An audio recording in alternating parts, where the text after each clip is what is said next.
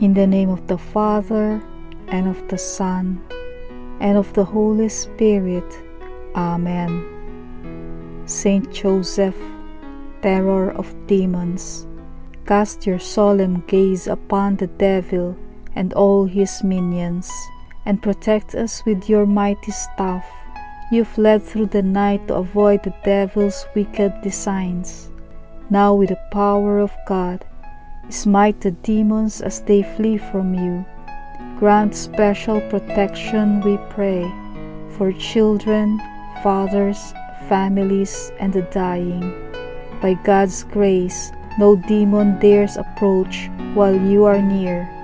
So we beg of you, always be near to us. Amen.